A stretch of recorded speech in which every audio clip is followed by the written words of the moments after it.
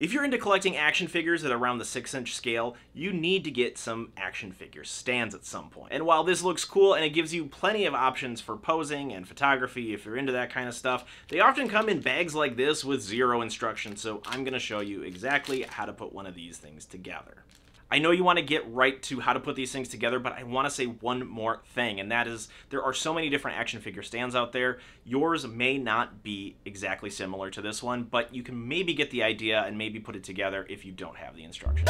There's only very few things you're going to need for one of these things, and of course it includes the kit itself it might also include a tiny screwdriver, but you might just want to have an extra one of these on hand in case you lose it. And the last thing that you're going to need is a clippers or an X-Acto knife or something that's going to remove the pieces from the sprues. You open up your bag of all of your stand parts, you're going to get a little bag of screws, you're going to get a stand where it all fits together, and you're going to get one of these sprue trees. Now this is the part that we're going to want to be concerned with the most because it really depends on where you clip these whether or not you're going to have a working stand. And so first I like to start at the edges of the outside and work my way inward. So this dog bone right here is part of our stand, so we want to just very carefully clip that right there.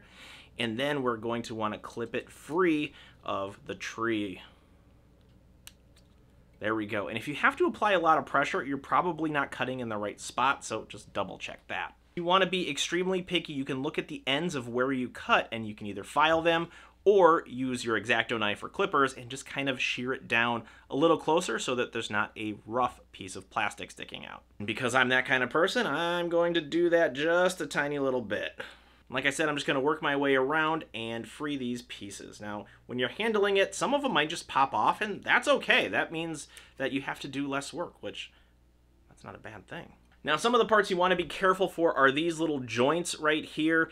Again, they're easy to kind of confuse with the rest of the sprue tree here, but I'm going to just clip them ever so slightly. In fact, I just twisted that one off. That's a better option sometimes, then I can go back in and clean it up. And it seems like I already had a part fall off here, so I'm going to have to look on the ground to find that. But it is the matching part for this. This is the piece that goes around the waist so that I can give him some kind of jump. I can give him a lift pose. The hunt begins.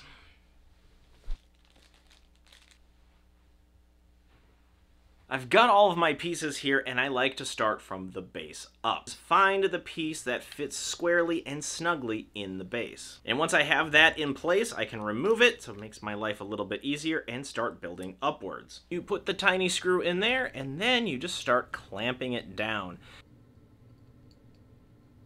You might notice that it's too wobbly, and what happens there is you haven't screwed it in all the way, so just keep going until it is stiff as you want it to be because you don't want your action figure flopping around if you're trying to get a cool pose. Now, if you need to repose it, you can always unscrew it a little bit, reposition, and then clamp it back down. But I think for now, that is a good freestanding piece. And next, I'm going to take my other dog bone here and do the exact same thing. Got a specific idea, so I'm going to leave this up a little bit, just like that.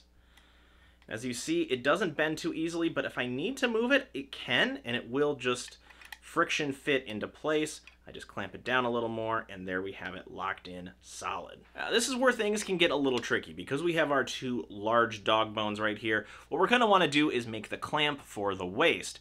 And to do that, we need this one final part that will change direction. It kind of looks like a magnifying glass, so I'm going to clamp that in there, and we'll start building this up even more.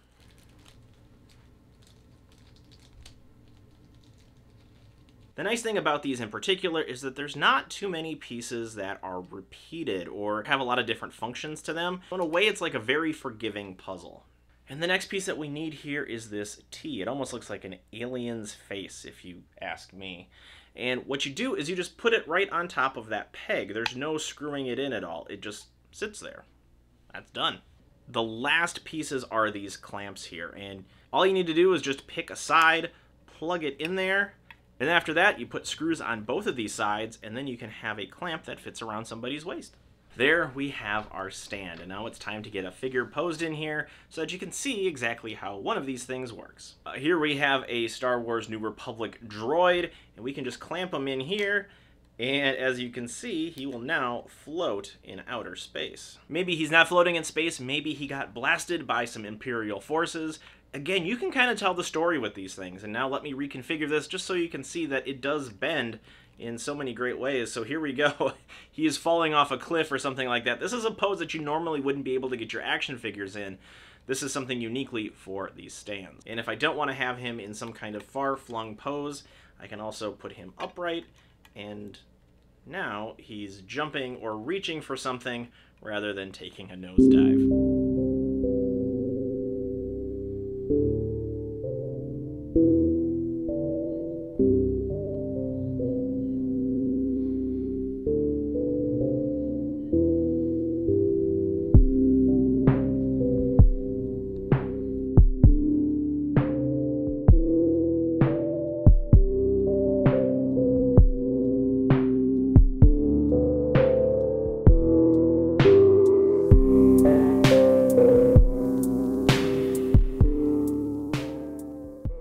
If you've gotten this far in the video and you're still wondering, well, why would you want an action figure stand? Which, uh, you know, hats off to you for making it this far, just being curious about a subject. But the reason that you would want to have an action figure stand like that is if you want to put them in poses that would be nearly impossible with how they're currently balanced. See, the problem with action figures is that they don't have a sense of balance and the sculpt the accessories, anything like that might throw off that delicate balance and without any other sort of intervention from either like Blu-Tack or like museum wax, there's not too many other options if you don't want all of your figures displayed in a very static possibly boring pose. And if you like action figures, if you like Nerf, if you like collecting toys, be sure to leave a comment about what your favorite series is and subscribe to this channel if you haven't already.